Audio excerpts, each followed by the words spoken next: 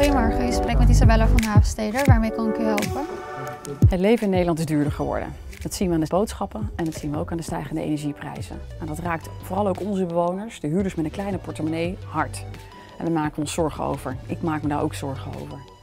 Wij zien dat nu, doordat wij uh, eindafrekeningen versturen over het voorgaande jaar van de servicekosten en de warmtekosten. En die zijn gestegen. Daarom hebben we bij Havensteder uh, een speciaal belteam. En dat belteam beantwoordt de vragen die huurders hierover hebben. We denken mee in oplossingen en we helpen hen zo goed mogelijk de eindjes aan elkaar te knopen. Eén oplossing is dat we als woningcorporaties ervoor gestreden hebben om de huren te verlagen voor de mensen met de kleinste beurs. Zodat we het voor hen iets makkelijker kunnen maken om de rekeningen te kunnen blijven betalen. En dat gaat in per 1 juli. En bij havensteden betekent dat concreet dat we voor ongeveer 12.000 huurders de huur hebben kunnen verlagen.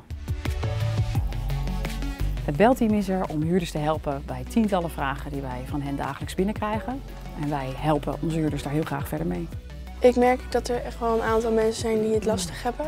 Um, wat wij voor ze kunnen doen is natuurlijk een luisterend oor zijn. Het is vaak lastig omdat we niet alles kunnen oplossen, maar we doen ons best om ervoor uh, om te helpen en er voor hen te zijn. Uh, de vragen die wij vooral krijgen is dat mensen wat meer duidelijkheid willen over bijvoorbeeld de servicekosten en over een huurverhoging of een huurverlaging. Een andere vraag die wij ook vaak krijgen is over een betalingsregeling of wij die kunnen afsluiten zodat huurders hun rekening gespreid kunnen betalen. Ik krijg ook blije huurders aan de lijn, uh, die dan bijvoorbeeld verrast zijn dat zij een huurverlaging krijgen. Ik vind het fijn dat ik met mijn collega's van het belteam samen uh, een luisterend oor aan de huurders kan bieden.